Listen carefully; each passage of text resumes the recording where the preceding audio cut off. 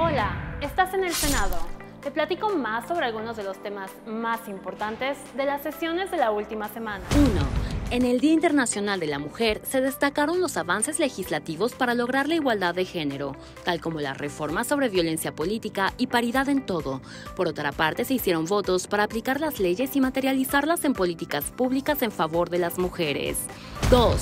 ¿Conoces casos en que los hombres usan a los hijos para causar daño a las mujeres? Se aprobaron reformas para sancionar la violencia vicaria, la cual incluye la sustracción de los menores de edad y amenazar con dañarlos. 3.